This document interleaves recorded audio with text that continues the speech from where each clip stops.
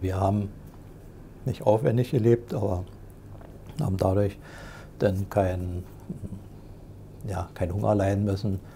Ähm, weil ja seinerzeit auch, war ja eigentlich alles kontingentiert, also auch äh, Schuhe und Anziehsachen und Hosen, Kleidung, äh, da gab es ja für alles den Marken die erste Zeit. Und wenn man, das war ja auch immer dann ja, eigenartige Qualität.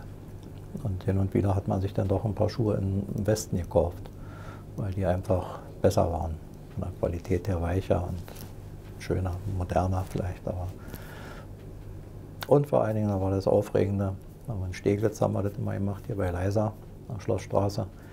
Ähm, die hatten einen Röntgenapparat und da konnte man dann reingucken und da hat man dann gesehen, wo der C aufhört und wo, wie weit der Schuh geht. Da konnte man dann sehen, ob der eng sitzt oder nicht.